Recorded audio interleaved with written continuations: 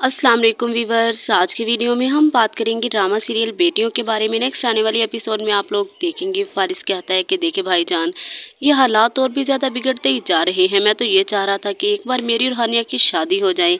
दानिश कहता है कि देखो, अभी हानिया के घर में कुछ भी ठीक नहीं है। हर तरफ़ कभी आयजा की परेशानी है तो कभी अनम की। मुझे नहीं लगता कि लेक साहब अभी शादी के लिए हाँ करेंगे। फारिस कहता है कि देखे भाईजान, बात हाँ की नहीं है। बात सिर्फ़ ये है कि आप उनसे एक बार ये क्लियर कर लें कि रिश्ता तो कंफर्म है ना, दानिश मुस्कुराते हुए कहता है कि देखो तुम्हें क्या लगता है कि वो अपनी बेटी के बारे में बार बार हमसे मज़ाक करेंगे। फारिस, बात बिल्कुल पक्की है, लेकिन इतनी जल्दी शादी नहीं, एक बार तुम्हें थोड़ा सब्र करना होगा, आयजा। और अनम के घर के हालात ठीक हो जाएँ, उसके बाद ही वो लोग हानिया के बारे में सोचेंगे। दानिश कहता है, वैसे तो लेक अंकल की ज़िंदगी भी क्या है? कभी इस बेटी की परेशानी है तो कभी उस बेटी की परेशानी है। फारिस कहता है, ये तो भाई शुक्र करे कि आप और फिज़ा भाभी का जो ताल्लुक था वो बिल्कुल ठीक हो गया है।